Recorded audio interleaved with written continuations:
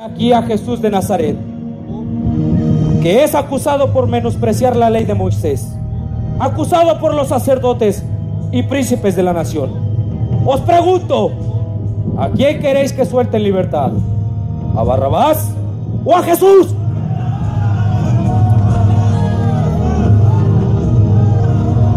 Defiéndete, que no sabes que en mis manos está tu vida o tu muerte.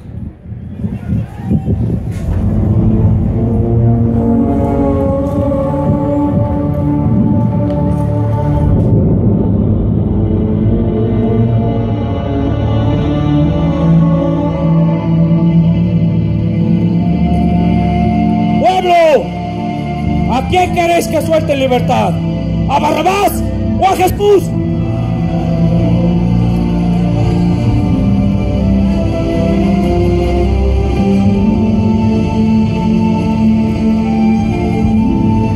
Vano está que vociferes al pie de mi palacio.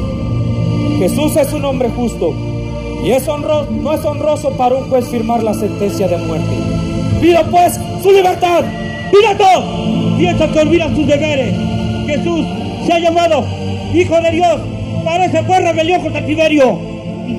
Y merece la cruz. Este hombre que tú defiendes es enemigo del imperio. Siendo tú su defensor, te haces tu cómplice. Salvando su vida, atentas a la gloria del augusto emperador. ¡Ay de ti!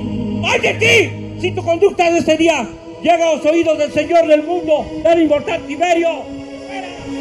Pilato, débil y cobarde ante las amenazas de aquel sacerdote, comete la infamia de decir con tembloroso acento. Pues bien, ya que así lo queréis, sea. Barrabás, eres libre.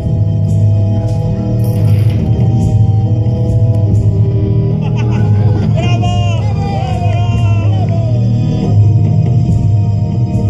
Ved aquí a vuestro rey a quien queréis matar. Nuestro rey es el César. Solo ahí rendimos acampamiento y morada. Advertí que la sangre del justo cae sobre la conciencia de los asesinos. Nosotros cargaremos con la responsabilidad. Caiga pues su sangre sobre la región presente, sobre los hijos de sus hijos. Amén.